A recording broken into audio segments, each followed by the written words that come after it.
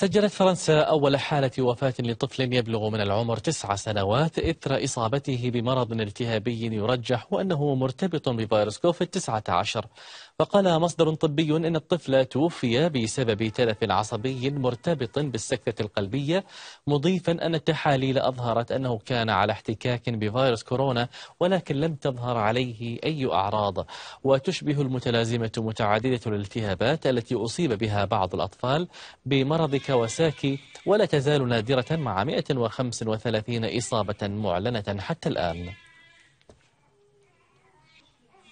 وقال المدير العام لمنظمة الصحة العالمية تيدروس أدهانوم جيبريسوس إن المنظمة ستصدر إحاطة علمية بشأن المتلازمة متعددة, الالتهابات لدى الأطفال تشير تقارير أولية إلى إمكانية ارتباط ذلك بفيروس كوفيد-19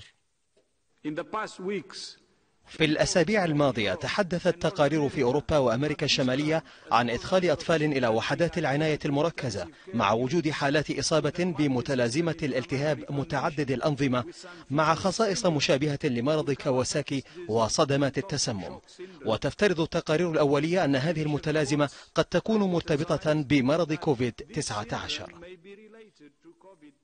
من جانبها نبهت السلطات الأمريكية الاختصاصيين في القطاع الصحي إلى المتلازمة متعددة الالتهابات لدى الأطفال قائلة إنها قد تكون فتاكة ولها صلة على الأرجح بفيروس كوفيد 19